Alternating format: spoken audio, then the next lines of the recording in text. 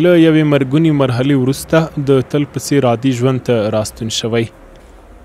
د بهترین پکتیاوال نږدې ټوله کورنۍ چې یو دېرش غړي کیږي په کرونا وایرس اخته شوي وو او د کورنۍ درې غړي چې یوه یې خور او دوی ورونه وو د همدې وایرس له امله خپل ژوند له لاسه ورکړ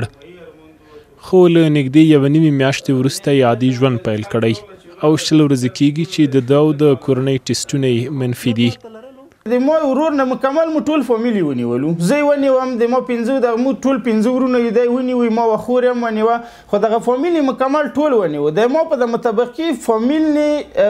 د خدای په فضل سره ډیر په اسانۍ سره تیر شو. د پکتیاوال په وینا د کرونا وایرس په وړاندې د ده ذهني پیاوړتیا او مناسب غذایي رژیم له هغه لاملونه وو چې د یاد ناروغۍ پر وړاندې یې ورسره مرسته وکړه. مورال به د لاسه نه ویر کوي، اشتیا به د لاسه نه ویر کوي، که چېرته په دغه مرض کې اشتیا د لاسه ویر کړه،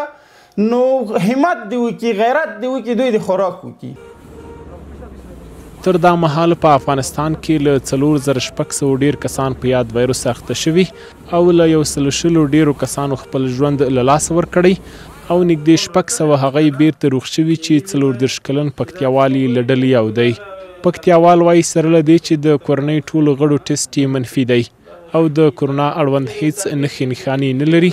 خو بیا هم خلک د تېر په څېر ټولنیز چلند نه ورسره کوي. زه دغه د دغه مرض نه په ټولنیزه توګه روغ یم، دغه د نه مې ماکس اچولی، نه مې دستکش اچولي، که نه او نه دا خلک یعنې چې ما لرې وګوري په لس مترۍ کې هم رانه تښتي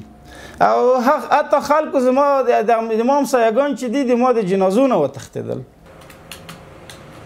دا ښايي له کرونا ویروس د رغېدلو ناروغانو یوه بېلګه وي،